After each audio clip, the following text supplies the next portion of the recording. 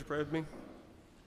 Dear Lord, we thank you for this day. We thank you for the opportunity to come here together and uh, be together as a community and uh, worship you in everything we do. We pray that you uh, open our eyes and our hearts to anything you have for us tonight to hear. Uh, we pray that you, that you be with those who are not able to be with us here tonight, who are sick or injured. I pray that you nurse them back to the health that you uh, would have them to be. And uh, I pray that you be with us as we go through everything that we do and remember you in everything. And uh, thank you for everything you've done. Pray these things in your name. Amen.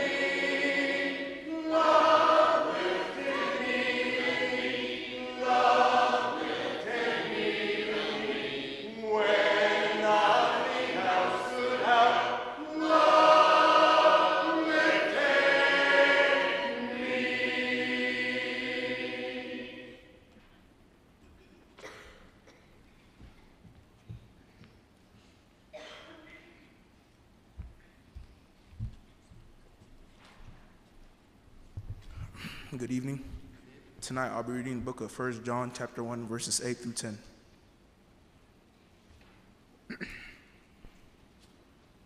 It says, If we say we have no sin, we deceive ourselves, and the truth is not in us. If we confess our sins, he is faithful and just to forgive us of our sins and cleanse us from all unrighteousness.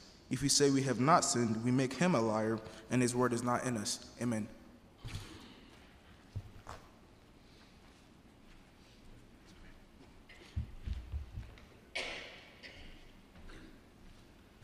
Good evening, everyone. Restful afternoon and and uh, got a little nap in. Um, get refreshed for for this evening. Uh, I had one quick announcement and had someone uh, remind us, uh, remind me that there's a lunar eclipse tonight, and uh, it's one of those things that uh, only comes around every every so often. And if you wanted to look at the marvelous handiwork of God in our universe, uh, that's one of those things. It's actually quite fascinating if you look at the uh, uh, apologetics and the earth and the moon and, it's, and their interaction. It's actually a pretty awesome thing looking at how carefully the moon was designed for the earth and it's going around and controlling various things on our, on our planet. It really is pretty amazing. And so tonight you can get a glimpse of a little bit of that uh, in the evening sky. Well, uh, we're going to look at uh, the issue of sin tonight, and I've called it cosmic treason because, uh, well, that phrase is not unique to me. Um, it is something that really does have much farther reaching consequences than I think we tend to realize. And when we look at the issue of sin, it's something that's incredibly important, uh, as important as anything else that we've, that we've studied in our, in our series on, on Sunday nights. There was a fellow by the name of Edwin Cooper. Most people didn't know him by that name, but this was a fellow who uh, came from a family of circus clowns. And he was a member of the Barnum and Bailey Circus for a while, would, would do that for, for uh, uh, while the circus was touring, and then in his off times, he would, he would serve as a clown in, in other places. And uh, for many of us, I think uh, we would be much more familiar with the name Bozo the Clown. Uh, this is, uh, of course, not just one person, but a series of individuals who, who served in that particular capacity. Actually, uh, Krista and I, where we went to school, uh, one of the ladies who was in the education department, her husband had served as one of the bozos, the clowns, um, uh, in, his, in his career. But, uh, but this fellow, uh, most, that's how most people knew him. Uh, they didn't know him by his, by his given name. And every so often, he would remind his buddies and partners about the importance of cancer and, and how dangerous it was. And it was a really uh, tragically sad irony that that is exactly what took his life. He was only uh, 41 years old, and he'd warned so many people about that, and yet it was the very thing that uh, did him in. And when we look at sin, sin is far deadlier and far more dangerous than any cancer. Uh, it grows just like one, it destroys everything that it touches. You look at Genesis chapter 3 all the way through the rest of Scripture, and the entire story of Scripture takes that into account. It is touched and impacted by the sin of individuals from the Garden in Eden until now. And it is as unrelenting and as unforgiving as anything that you can imagine. Well, this is why Jesus in John chapter 10, he talks about the thief, right? It says, A thief comes to steal, to kill, and to destroy. And when we look at Satan in that light, that is exactly what he does. And that's exactly what sin does. And that is precisely why we have to study topics like this, because the nature of sin is to be concealed, it is to escape detection. And so that's why we have to, to talk about it. It's not a very popular topic. That's not something that people really get excited about. Um, and it's not something that uh, is preached on very often, uh, at least uh, in, in some places today. But it needs to be, because that is the one, I think, most important besetting problem for the human race not only for what it is, but for what it does. It ruptures our relationship with our Creator and complicates our lives in, uh, just innumerable ways.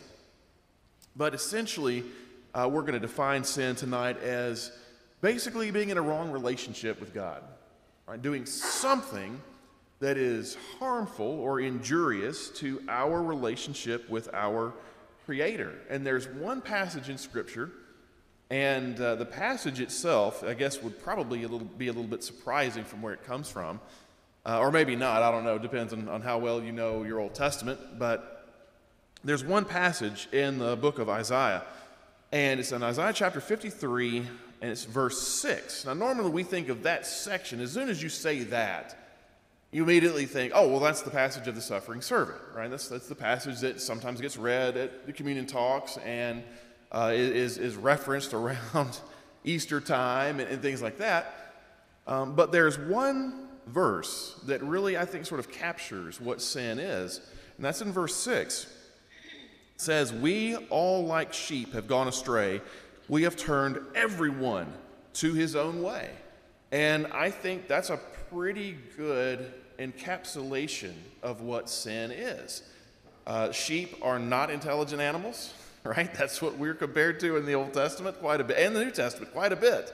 Um, so it's a little bit humbling, you know, to think of ourselves in that way, but that's what sheep do, right? They, they wander off, they get into trouble, they have to go get rescued, right? Jesus tells stories about this. But the thing is, sheep kind of, when they do this, they're, they're doing what they want, all right? They're, they're, they're wandering off, they're, they're going the direction they want to go instead of the direction the shepherd wants them to go. And for us as human beings, that really sort of captures sin in, in who we are, right? We're doing what we want. We're, we're kind of going the, a different direction than what God wants us to go.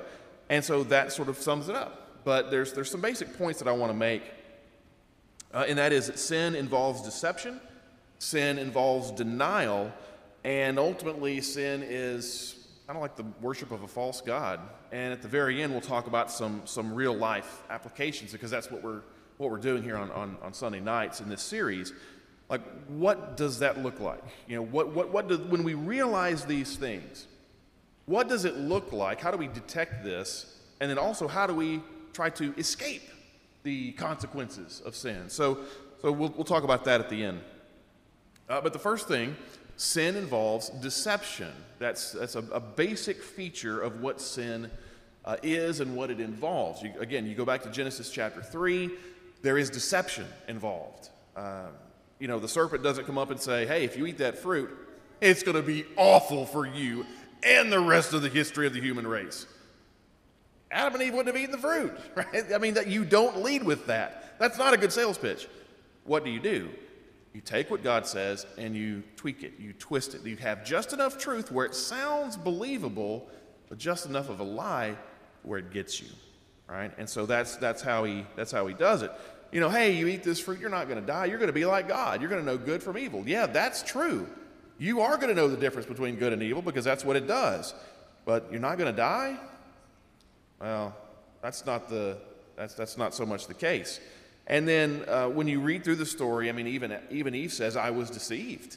You know, I've I've been hoodwinked. Um, I've had one pulled over on me here, and that could be said for most sins, I think. Uh, there's some kind of uh, deception that's, that's involved there, and we have to be on the lookout for that kind of thing. That's why Jesus in John chapter 8, very famous verse, verse 44, uh, he was a murderer from the beginning and does not stand in the truth because there is no truth in him. When he lies, he speaks out of his own character, for he is a liar and the father of lies. So you know, we, we know this. This is how Satan operates. This is how the devil does his, his, his deeds. But sin is powerful. Um, it is. Uh, it's persuasive. It's addictive. All of these things are true. But it's also elusive. And I think because it so often sort of uh, flies under the radar, we tend to uh, underestimate it quite a bit.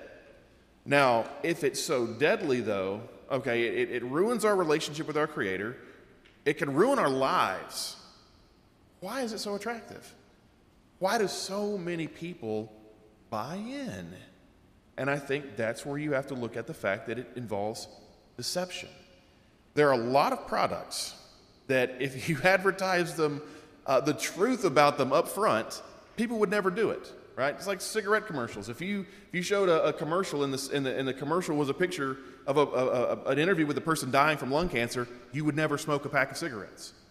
You know, if you uh, had a, uh, a beer commercial, and that commercial was someone uh, who had uh, been uh, molested at a party, had, had gotten blasted out of her mind, and, and was molested as a result of it. Or, or, or you talk to the parents of somebody who died in, a, in a, a car crash. No one would ever drink beer. Um, the, you know, you don't have truth in advertising. That's how sin works. You, you, you conceal it, you, you hide it, you, you, uh, you, you hide those consequences. And that's how it sells. Well, uh, we also underestimate our ability to handle it. you know, we, we, we maybe think of ourselves as, well, you know, I'm in Christ, you know, I've got the armor of God. Uh, uh, you know, uh, one little, as, as uh, was it, a mighty fortress is our God. One little word will fell him, uh, Martin Luther wrote. Um, not so much. I mean, you look at the history of the human race, and that's tends to not how it works out, right? Um, but uh, we, we underestimate our ability to be able to withstand or to handle or, or prevent ourselves from committing sin. You may have something that looks like a good thing, and it's really not. Right? The, uh, the deception aspect is it looks like a good thing. Uh, conventional wisdom says that it's okay, right? God's word may have something different, but you know, people are doing it. It, it looks good, it sounds fun, and so you get sold that way. Now, um, you, you look at the, the ways that you could accomplish something good through sin, right? You don't tell somebody the truth because you want to spare their feelings. You, you think about sexual purity outside of marriage. Is it really that important? Because I can think of some things that, well, maybe it would help finding a mate, right? They would help figure out if, if you're really compatible with that person or not. That's kind of an important part of marriage. Uh, do we always have to do what's right all the time? Aren't there some times we could like bend the rules a little bit, maybe uh, uh, kind of you know uh, do that, and then and then maybe be a little selfish sometimes. Isn't that okay? Can't we do that? And the thing is, though, what happens if you get a taste for it? Sin's kind of a, a progressive thing. Um, it sort of takes hold. It gets a little toe hold, and it gets a little hand hold, and then it gets a bigger hold on us. And we get a taste and it just sort of grows from there. It just sort of snowballs. Well, sin does deceive, it is deceptive. That's, a, that's a, an important component of it. And we have to realize that the reason why it is so attractive, the reason why deception is such an important part of it is the devil doesn't play fair. And he doesn't have to, he plays by his rules. He's a devil. He's not going to play by God's rules. That's what got him in trouble to begin with. And that's what gets us in trouble when we follow suit. That's part of the nature of sin. Well, not only does sin involve deception, it also involves denial. And so, uh, you know, we look at the fact that all of us all of us make mistakes. There's no doubt about that. And, and no one likes that, right? No one likes to make mistakes. No one likes to feel like a failure. No one likes to come up short or miss the mark or miss the, the, the, the goal. We don't like to get caught red handed. and don't like to get our hand caught in the cookie jar. But we do it. We do it a lot. But we don't want to admit it. And sometimes the person we don't want to, to admit it to the most is that person that looks back at us in the mirror every morning. Now, uh, we don't want to admit the truth for a variety of reasons, right? Maybe it means that our reputation is going to suffer if we have to admit to something, right? Maybe it means that uh, we're going to be humiliated in front of people. People are going to know, right? Because one of the worst things is having people find out that you did something naughty, right? And so uh, you don't want that. You don't want to be humiliated in front of people. And maybe it's because we've already lied so much and compounded the problem so much that it's become such a bigger problem that if we actually have to fess up and tell the truth, all of our lies are going to become unraveled and we're going to be exposed. And, you know, sometimes you, you get to the point you're not so sure you can tell the truth because you've become way too invested in all the lies that you've had to tell. Well, we have to be honest with ourselves. Right? That's, that's part of, of combating sin and dealing with sin in our lives. We have to be honest. And um, we, we might uh, uh, be quick to say, you know, okay, yeah, I understand. I'm flawed. I make mistakes. Nobody's perfect. But is that really being honest? Is that, is that complete honesty? That's, that's sort of like a facade of honesty. It's sort of like a veneer of honesty because we can say that as kind of an excuse, can't we? Well, you know, okay, I messed up. Oh, nobody's perfect, okay? Um, yeah, I made a mistake, but who hasn't? Who hasn't made one? Right? It sometimes sounds like an excuse. And it's a long way away from admitting that we are sinners, that we are desperately in need of God's grace and we are lost without Jesus Christ. That's a long way away from that. It's sort of like saying, uh, somebody who has stage four cancer and they say, Yeah, yeah I guess, I, you know, doctor said I'm, I'm sick. You know, no, it's, it's much more serious than that. And that's kind of how sin is. We have to be honest with it and honest with ourselves. Now, the, the third thing here is sin is uh, worship of a false God. Um, God is supposed to be a number one priority in our lives. And when Jesus talks about um, what you and I do, how we're supposed to live, Matthew 6:33, he says, "Seek first His kingdom and His righteousness." It's not ours. It's not what I want to do or what some guru says or anything like that. What is God defined?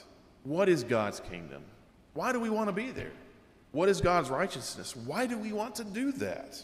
Well, these are questions we have to answer. Uh, the prophet Jeremiah, when he was preaching to the, uh, the southern kingdom, he was working sometime in the late 600s, around you know, 620s or so, and the northern kingdom had already been gone. Right? It had already been taken off into, into captivity. Uh, almost 100 years at that point. Uh, North, the Assyrians had come in, uh, taken off the northern kingdom. At this point, Assyria was on life support, and the Babylonians were about to take over. And Jeremiah is warning them that things are in store, right, if, if you don't repent. And so throughout the book of Jeremiah, he refers to the spiritual adultery of, of, of the people. And this, uh, as you guys have heard me mention before, adultery in the ancient world was a crime punishable by death. Right? They took marital fidelity really seriously, uh, much more seriously than we do, obviously. And that very serious image is what Jeremiah chooses to portray spiritual unfaithfulness to God. It was not something that was a little mistake, ah, this is a slip up.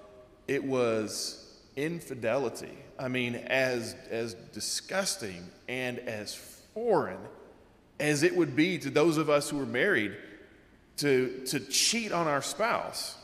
That is how disgusting it was for God to watch his people chase after Baal and El and Asherah and all of these other gods of the Ammonites, Moabites, Philistines, Edomites, Assyrians, Babylonians. I mean, there are some mentioned by name by the prophets.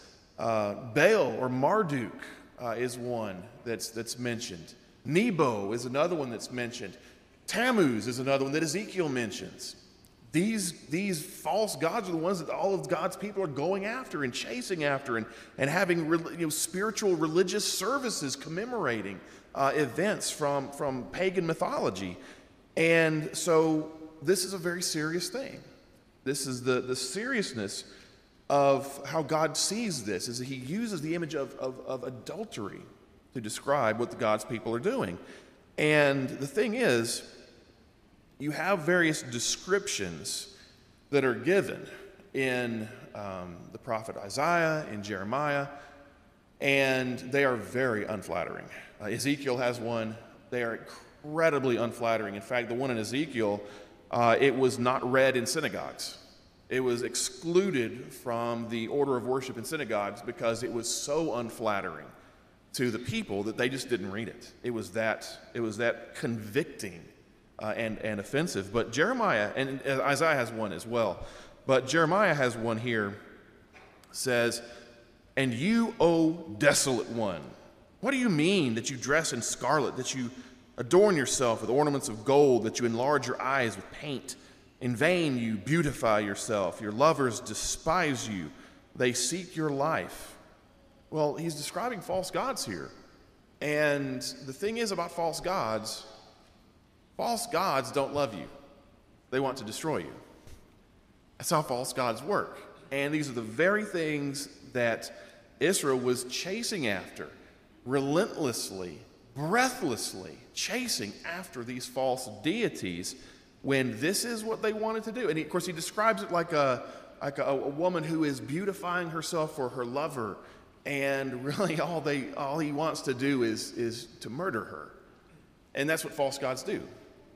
Well, uh, we, uh, we might look back and say, yes, yes, Dewayne, you've showed us pictures of Baal and some of these other gods, these little statues and all that. We don't have little statues today. No, but they do take different other forms. uh, it might be your career, it might be your relationship, it might be money, it might be a possession, it could be any number of things. It doesn't have to be a little statue of wood covered with gold or stone or some inscription or carving or anything like that. That's what people did in the ancient world. We're more refined and sophisticated today. Well, you will never hear a false God tell you, Well done, my good and faithful servant. You will never hear that from a false God. What you will hear is, Why didn't you do more? Why didn't you go farther? Why didn't you give me more? I need one more thing. Do you not love me? Why not? What have I done to deserve less than your best? You are such a disappointment. That is what you hear from false gods. They will never congratulate you on a job well done. They will only criticize you and express disappointment on a job never done well enough. That's what false gods do. When you and I choose something other than God and we put it in His place, we set it on His throne, we're choosing to honor the creation rather than the Creator. And it will never, never love you like Christ does. So, imagine, I want us to imagine something for a minute. Um, we, uh, uh, you, you may know uh, John Lennon's song Imagine. It was the best selling single of his career. And the thing is, it's being used today in a lot of ways uh, by some atheists because it, it's kind of an anthem. And there's one very specific part that also makes it uh, controversial, right? Uh, because it gets played a lot. And it's this one section that, that is, is what really kind of gets people stirred up. But he says, Imagine there's no countries. It isn't hard to do. Nothing to kill or die for, and no religion too. And because of that, that's sort of an anthem for unbelief. And uh, it's very popular. Of course, John Lennon, uh, very popular artist, member of the Beatles. Uh, some people consider them the greatest musical act of all time. Um, John Lennon had a solo career, as some of the Beatles did, and there's even a monument uh, to him in his honor in the city of Liverpool. And of course, whenever you have somebody who's famous, who is a wordsmith, uh, their words do tend to make it into popular jargon and in uh, you know, common wisdom and that kind of thing. And this phrase, or sort of adapted from his song, I saw one time in a, a picture on the internet, and it's just uh, imagine no religion, right? And of course, you've got the sun peeking out from in between the, the Twin Towers. Of course, we could say imagine no violent religions, and you'd have, you'd have exactly this, right? That's, that's, how, that's how that would work. But um, I, I, appreciate the sentiments. I, I, appreciate maybe the goal that, that John Lennon had. Um, I, I, I don't his, his way of getting there was impossible, right? His, his, his vision in this song, if you go back and you read the lyrics, his vision in this song is sort of a humanistic, uh, secularized utopia where everyone gets along and it's magically wonderful all the time. And that to me is something that could never, ever possibly exist in the real world. This is a dream. This is an ideal that is absolutely unreachable. But the thing is, I'm going to ask you to do something similar. And I'm going to ask you to do something that is infinitely more realistic, all right? So let's imagine, imagine a world where people follow the teachings of the New Testament. Not, not, the, not the secularized, humanized, you know, nowhere land that Lennon is talking about, but something that's doable, something that is reachable, drawn from the pages of the New Testament. Now, let's see. Imagine a world where everyone fights against the destructive tendencies of sin. Imagine a world where everyone fights sin, combats it, recognizes it, sees it for the enemy that it is, sees it for the problems that it poses, understands the consequences that result, they fight it. Imagine that kind of world. Imagine a world where we stop lying about sins to save face and we're honest about our failings. We're genuine people, we're authentic people. I, know a fellow, I worked for a fellow for a while. He burned about every bridge he could possibly burn in his life because he was dishonest, he was a thief, he was incredibly arrogant. And because of all of these things, when people got wise to him and saw him for what he really was, he would try to defend himself. He was very arrogant about it, he was very rude, uh, he was very insulting, and tried to paint himself as kind of sort of a white knight. Uh, that, that was being unfairly persecuted and criticized by people who were jealous of him. What this fellow did was isolate himself from almost everybody. And he still has a core of loyal followers and devotees. But imagine, imagine this fellow, if he were to be open and honest and just say, you know what, guys, for years I've been living these lies and I made these mistakes, I committed these sins against people, and I understand that this is not what God wants for me, and I've been an embarrassment to Christ, I've been an embarrassment to His church, and I repent of those things, and now I want to come back and ask your forgiveness.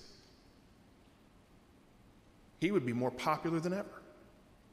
He would not lack for popularity if he did that. Why? Because it would be open, it would be honest, it would be authentic. But when we try to save face and lie about our sins to do that, consequences result. Imagine how winsome it is to be open and even sometimes vulnerable about our faults.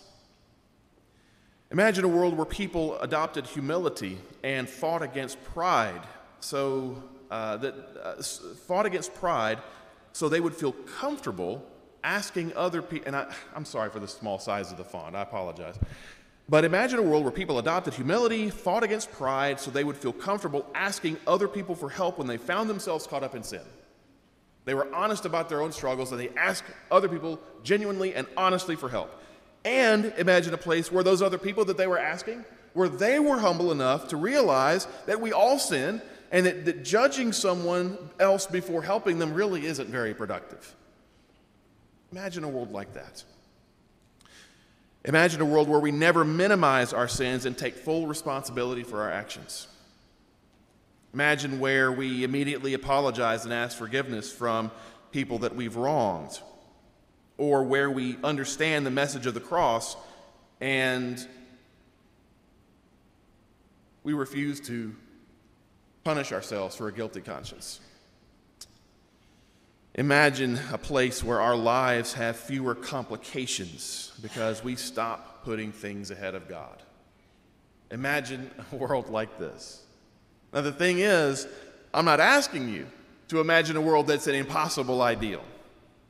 I'm not asking you to imagine a world where everything is perfect, where nothing bad ever happens, where we're all perfect people and we all live according to the righteous standards of God and we never make mistakes and we never mess up. I'm not asking for that. I'm just asking for a world where we're more honest, where we're more open and more authentic. Imagine what a world that would be a better world, better relationships, fewer fights and arguments, fewer problems, a more authentic life, a more productive life. I didn't say perfect, I said better. That is not an impossible world. That is not an unreachable ideal. That is not something that only exists in our imagination. It is a world that is consistent with the teachings of Scripture. And it's also realistic enough to acknowledge that, you know, in spite of our best efforts, we do sin and we do fall short of God's standards. But Imagine this. Imagine this. Now, this takes work. And I think that's why Paul writes about putting on the armor of God in Ephesians chapter 6, because when you look at some of the things that he's talking about there, he is talking about a struggle, he is talking about conflict.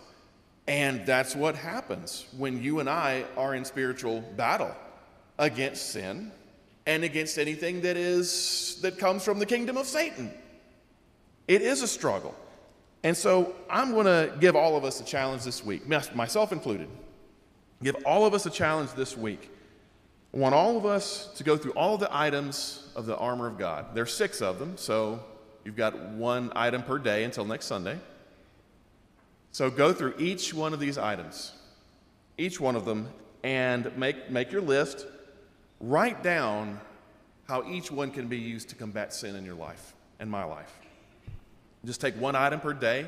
Maybe if you already do a morning devotional, use this as a, some devotional time to, to, to, contemplate, to meditate on God's Word, to, to, think about some things that would improve our daily living.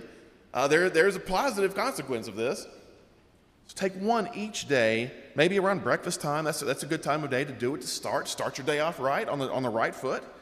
And take that time, take that one item, and think about how that could impact your struggle against sin, how that could make you a better citizen.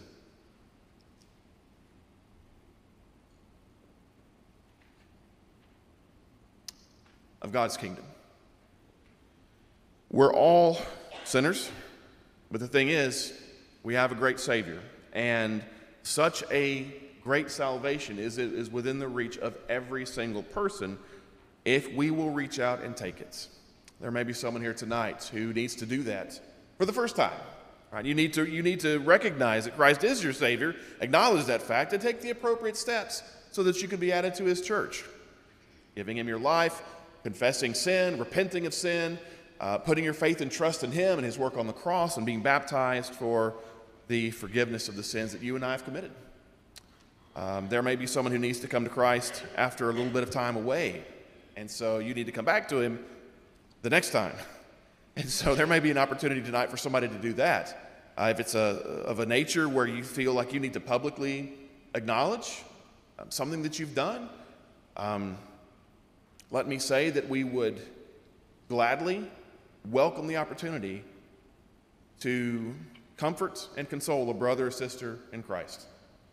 There may be someone here tonight who just wants to add something to the prayer list. You want to ask for prayers, uh, something that maybe didn't get mentioned today, and, and you'd like to, to announce that so that we, the rest of us can be praying with you and for you.